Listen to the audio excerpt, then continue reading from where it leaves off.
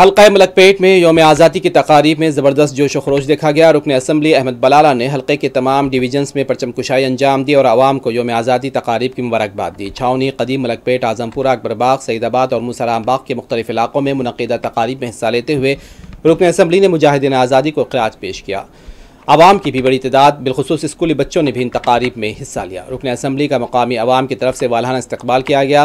तमाम डिवीजन्स में मजलिस के मुतल कॉरपोरेटर्स और नुमाइंदा कॉरपोरेटर्स इस मौके पर मौजूद थे।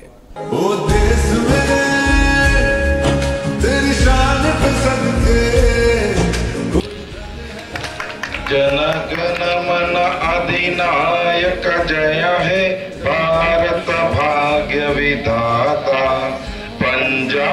सिंध गुजरात मराठा द्राविड़ा